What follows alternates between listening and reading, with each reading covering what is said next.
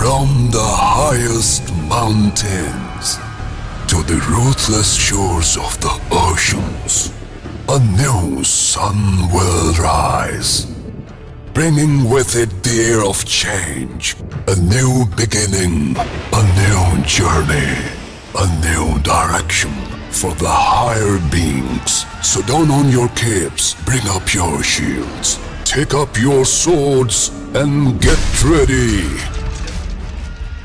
Muster all your power for the epic battle to achieve the glory.